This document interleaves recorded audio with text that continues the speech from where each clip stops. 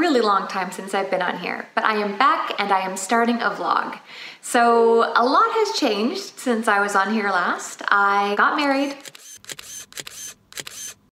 built a small cabin in the woods, moved half the year to Australia, Thumbs up.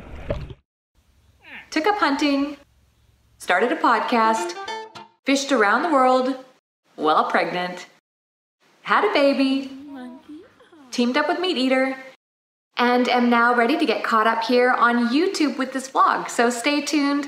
I'll have fishing content, mostly fishing content, some non-fishing content, some how-tos, some gear preparation, and a couple other surprises. So stay tuned and I'm really excited to share these with you guys.